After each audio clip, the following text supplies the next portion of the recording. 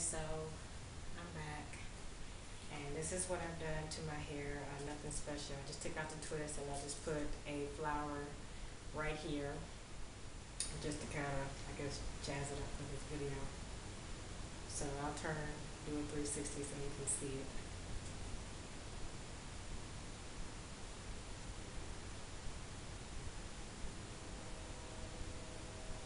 Okay. So as I was saying before about my hair loss pattern, which is female pattern baldness, and I have a paper right here.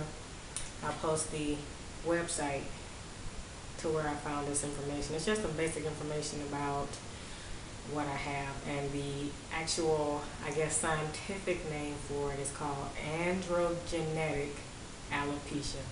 It's androgenetic alopecia, which is male pattern baldness slash female pattern baldness. So what it really is is male pattern baldness that occurs in women. That's really what it is. So I'll read just some brief information that I found about androgenic alopecia. Accounts for 95% of all hair loss. It can affect both men and women, although men experience a much greater degree of loss. In women, androgenic alopecia appears as diffuse hair loss occurring over most of the scalp. In men, however, the pattern of loss usually starts with a receding hairline, which then advances to the thin top of the head. So what causes androgenic alopecia? Uh, it's not, they don't really know what the real cause is, but they suspect that it, it might be like a male hormone called dihydrotestosterone, which is called DHT. You've ever heard of the word DHT, that is an acronym for di, dihydrotestosterone, dihydrotestosterone which is converted from the enzyme testosterone by the enzyme 5-alpha reductase, which occur, which, which contributes to androgenic alopecia in those who genetically dis, predisposed. So what it is, DHT, is a dihydrotestosterone, which uh, occurs in men and women. And what happens in women is once a, a woman starts to produce more of this te um, testosterone, it causes her to lose her hair on top of her head. But another effect of this DHT is that she can start to grow facial hair or more prominent hair in other areas of her bodies. So women, if you are experiencing something with this type of alopecia, most likely you have noticed some some uh, hairs growing under here, maybe right here, they're kind of sprouting out or they're a little bit coarser or you're having to maybe tweeze a little bit more. I'm not sure, but you will definitely notice. It says that this uh, causes the hair shaft to narrow, producing progressively finer hairs with each new growth cycle until eventually the hairs become transparent and stop emerging.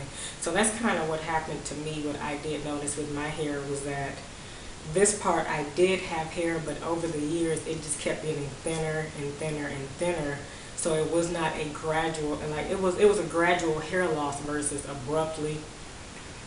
Uh, some treatments for this type of androgenic alopecia is minoxidil.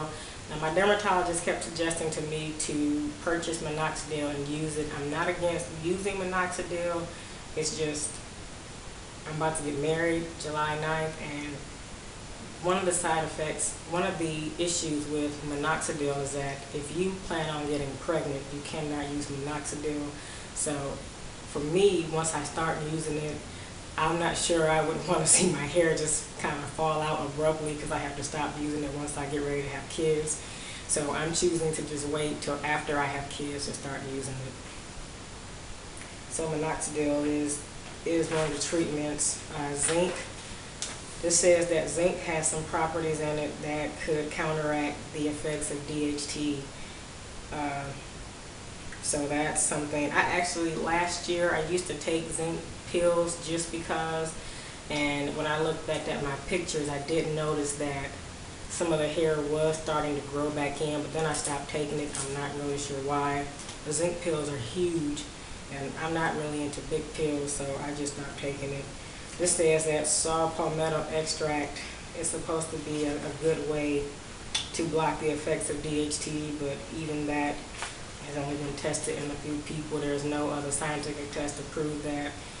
They have some other treatments for female pattern baldness, and one of the treatments, ironically, is the one I'm taking. If you look at one of my previous videos, I talk about spironolactone, which is a, it's actually a high, it's actually a medicine that's for high blood pressure, but it has some properties in it that counteract the effects of DHT and also helps to reduce hair growth that shouldn't be growing in women on other areas such as the face, chin, neck, things like that, whatever you may have.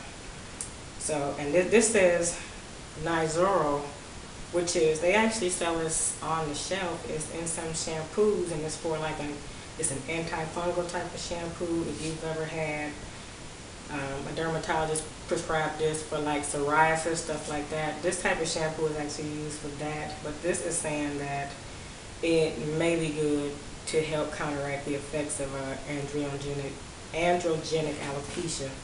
I've never tried it, but I am willing to give it a try. So this is my brief update on the alopecia, what type I have, now that I know what type I have. In my next video, I will actually do an update on my hair growth and then I will tell you what I've been doing uh, as a result to help with the DHT. I'll kind of show you some of the uh, I wouldn't I would pills that I've been taking, but they're not like drug pills. They're just like regular pills that you can buy over the counter. So I'll come back in my next video once I do my hair update. I probably will continue to get the shots maybe one more time. I'm not really sure. I haven't fully decided what I'll do with that. Uh, but as of right now, I'm just taking supplements really just to kind of help. And I will come back in a couple of weeks, maybe two more weeks with when I do my hair update, to kind of show you where my scalp is at and just how it's doing and how it's progressing. So I hope this video was helpful. Thanks to all my new subscribers for watching. Thanks to all the people who just sent me encouraging words. I really do appreciate it. It's been very helpful.